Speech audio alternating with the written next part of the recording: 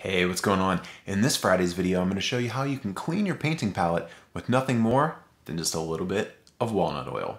So stick around and let's get started.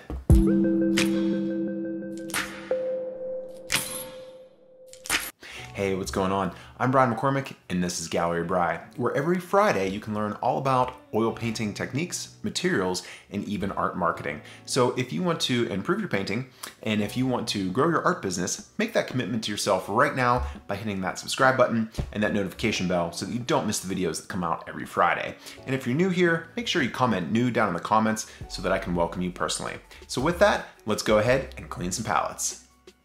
Okay, so before we do the demo, I'm gonna show you what I'm gonna be using to clean the palette. So I use walnut oil from M. Graham, and I really like this because it works very well and their business model is completely solvent free and non-toxic. They even have an Alkyd fast drying medium that works really well. So if you're looking to paint solvent free, maybe consider taking a look at M. Graham. Gamblin even has some products as well that are solvent free. So with that out of the way, let's go ahead and clean that palette. All right, so let's go ahead and get started here. So all I really need to do to clean my palette is use a little bit of walnut oil. I got a paper towel and then these are actually extremely handy. Just a little square of cotton gauze to do the final cleaning of the palette.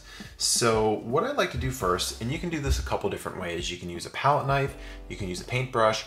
I typically use an older paintbrush just so that I don't mess up the bristles over time and I use the brush to dip into the walnut oil.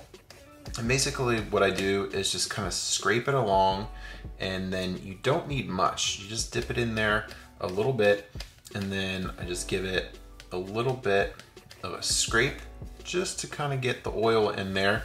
And then, you know, I'll just take that, wipe that on the paper towel. I'll get a little bit more walnut oil, just rub that in there. And then again, just scrape off the majority of the paint here. Now, I'm actually getting rid of some Galkyd gel that's been mixed in to the paint because I'm doing a commission and I want it to dry faster. So the point is, is that this actually is a little bit harder to get off the palette as opposed to if you were just using plain walnut oil for your medium, but it still works amazingly well. You know, again, you just kind of get it in there and then you just scrape it along and scoop up that paint. Now it's gonna take a couple passes to really thin down the paint on the palette. You really wanna make sure you get all the, the chunky parts off before you go ahead and wipe it down. So again, I'm just taking it here on my paper towel. And for the most part, I'm getting rid of most of the, the oil, the excess oil. Now here's a really important thing that you do have to remember. Walnut oil, linseed oil, poppy seed oil, any other kind of oil can be very flammable.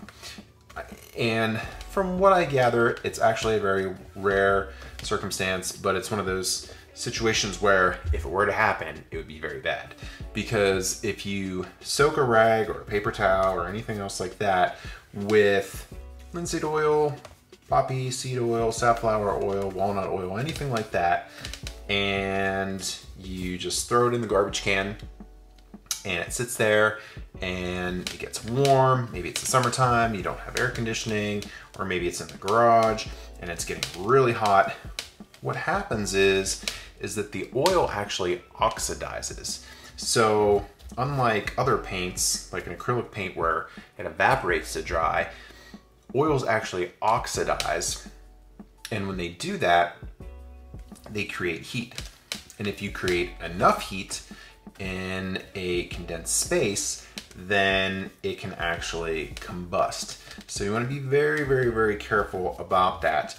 So typically what I do is after I am done wiping off the palette and get most of the oil off, I will take the paper towel and I will put it in a plastic bag. They always say to put it into a sealed metal container.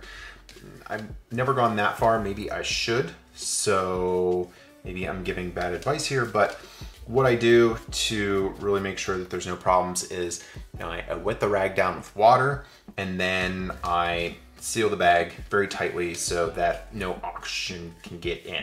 And that's what oxidizes the oil and oxygen also fuels fire. So if you have water and you have little to no oxygen getting in there, then you really should be okay. So I've gotten pretty much all of the pigment off of here and I'm really just probably being a little bit more over thorough than what I need to be. But the way that I like to do it is get as much of the pigment off as possible. So then when it comes time to wipe down the palette, there's really not that much to wipe down. So I'll probably go ahead here. It looks like it's pretty clean and you'll really be amazed and it's probably not gonna show up as well on camera, but these little cotton squares just absolutely suck up the paint tremendously. And I will just fold it over and I'll just rub it like this. Now, the other thing that you know, I'll mention in this video, and I'll probably do another video on it as well, is that this is a great way to condition your wood palette. So wood palettes are great because they are lightweight, they are easy to transport, they're easy to hold, they don't break, and they create a very nice neutral background on which to mix. So whenever you do this over a long period of time, this particular one is probably about a year old and I've just been mixing on it and what I do typically first, you don't have to do this, but it definitely makes it easier on your paint and your brushes, is you can seal it first with linseed oil a couple times. You want to do uh, a number of passes so that it soaks into the wood and it seals it. That way it doesn't suck up the oil from your paints as much and it doesn't suck up the oil while you're mixing as well. And it also makes it a very smooth mixing surface and it also makes it very easy to clean the palette. So as you can see, after one pass with that little bit of cotton, it is pretty much squeaky clean. I'll show you this one after I'm done and you'll see there's just a little bit of pigment on there. So this is all that I've used. So just one square of paper towel, two little squares of cotton.